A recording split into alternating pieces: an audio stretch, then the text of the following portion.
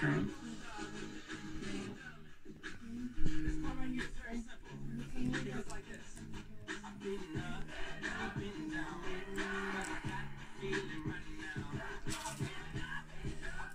Or you can learn to ride it.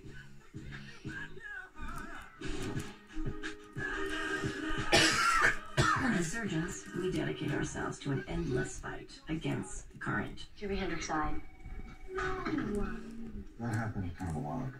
No, Jimi Hendrix is a liverless mouse. Hmm, I thought he was a guitar genius. We're trying seven different polymers that I found to see if any of them can be used instead of Cerone. So we named the mice. It's easier than numbers. And now Jimi Hendrix is dead and Elvis is. There's left the building.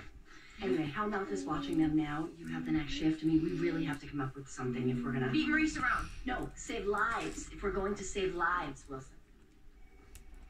You can't give up that easily. It's been four days.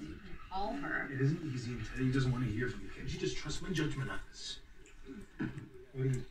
No, no, no, no. Dr. Altman! Amelia Shepherd. Did I catch you at a good. Great.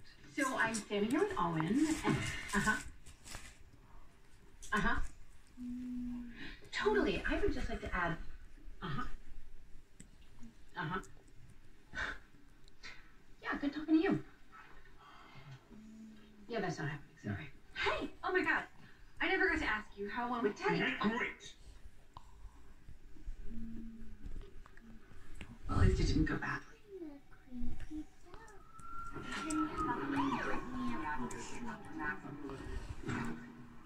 Hey, looking good, Juan. Feeling good, Dr. Webber? Uh-huh. 67-year-old female collapsed at an AA meeting. We bagged her, got her breathing again, then discovered her DNR bracelet. Oh, yeah, she was not happy.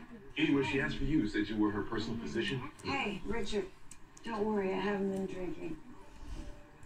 Crossing my heart and hope to die. Ollie?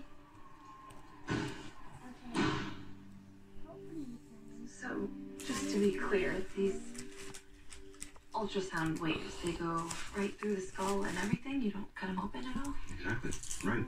The waves meet directly on Noah's tumor. All the energy is focused there. Imagine it like using a magnifying glass to burn a hole in